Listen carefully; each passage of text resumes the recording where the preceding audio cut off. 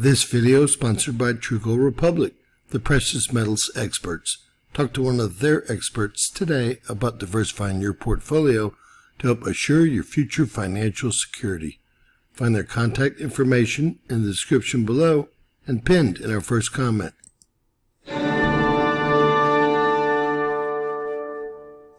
James Kaufman, World News Report today, May 15th, 2024.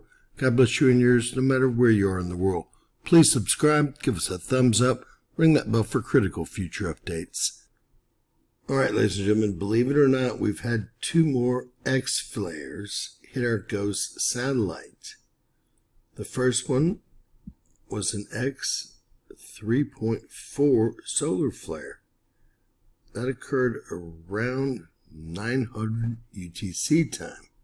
The second flare was an X 2.9 solar flare that occurred right about 1430 UTC time. Now, these are not from our old friend AR3664. Heading over to Space Weather Live, running a C4.7 baseline, we have a 40% chance of X flares. I guess that ship is sailed. It's a 100% chance. 75% chance of M-class solar flares. Ladies and gentlemen, we've had both M and X class solar flares today. The largest X flare was this X 3.48, which they've left off the list here. We've just had an X 2.9, and you're not going to like where it came from. Both of these came from a sunspot that is just coming around our limb and is currently still unnamed. And it's believed to be one of the old sunspots that we've dealt with before. It was horrific. Taking a look at HMI intensogram, these flares were generated by this sunspot group right here that has not been named yet, but I think that we've dealt with before. You can see that they haven't been assigned to a sunspot because I don't believe it's been named. And I'm about to well, show you that NOAA says the same thing. I'm going to bring you to SDO HMI magnetogram taken at 8.30 last night so we can see it a little bit better. Obviously, it's further around the limb than that. And NOAA and NASA are both saying that any coronal mass ejection would not affect Earth based on the position of these solar flares, and associated coronal mass ejections. But, in fact, we did see them hit our GOES satellite that's just a few hundred miles up, and we also had X-rays hit the planet, as you will soon see. Now, I'm not quite sure why NOAA is only covering the second of the two X flares, unless the first one was a filament eruption, but at this point, I haven't seen it uh, addressed whatsoever. This is the second flare at 1438 UTC time. Another X flare from another sunspot region. Another X flare from another region. What X 2.9 flare occurred from region just beyond the east solar limb? A flare is an eruption of energy from the sun that generally lasts minutes to hours. Flares of this magnitude are not frequent. The flare peaked at 1438 UTC time. Users of high-frequency radio signals may experience temporary degradation or complete loss of signal on much of the sunlit side of Earth during that time period.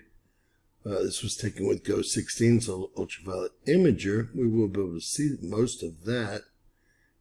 And it says another R3 strong radio blackout, an X 2.9 X-ray flare was observed at 1438 UTC time, this time from a different region, an unnumbered region from beyond the sun's southeast limb, likely old region 3655 produced this flare and possibly an associated coronal mass ejection. Space weather prediction Center forecasters will be doing an analysis of the coronal mass ejection, but due to the source location, geomagnetic impacts are not likely. Here we go again with old sunspot AR 3655. This should be interesting.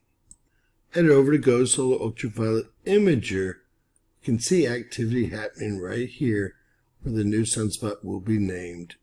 I'm not uh, sure that we're seeing the last part of the X-flare. This is just a whole nother solar eruption, but that's from the same sunspot they believe to be old AR3655, which will soon be renamed. Now, I do understand that NOAA and NASA say that these flares will not be uh, affected towards Earth due to the location of the blast. However, our GOES X-ray satellite picked up the X-rays and we see the radiation actually hitting. This is the last part of neither of the flares. This is one of the M flares. And this is the last 2.9 X flare off the limb. I don't have the 3.4. It happened quite a while ago. But you can see how strong this flare was. Covered all the Pacific, some of Africa, most of Western Europe, most of the eastern part of North America, all of Central America, and most all of South America. Uh, did I mention all of the Atlantic Ocean as well? I also need to mention we're still in a polar cap absorption event with protons and radiation pouring into our poles. So that has not let up, and we're also in a proton storm event still. Wow, which was probably just prolonged by these two X flares. As you can see, we're still clearly in a proton storm. Hard to believe. And if you will recall, this has gone back to May 10th. So this is the fifth day of being in a proton storm. Definitely unhealthy. With all that said, I can't figure out why NOAA, NASA, or Space Weather Live didn't mention the X3.4 flare, except for on the top of Space Weather Live, and did actually concentrate on the second flare at 1430 UTC time, the 2.9. Very, very interesting stuff. If anyone can explain that or knows what's going on here, please let me know in the comments below. God bless you guys. Please share, please subscribe. Always remember, anything's possible. Bizarro world.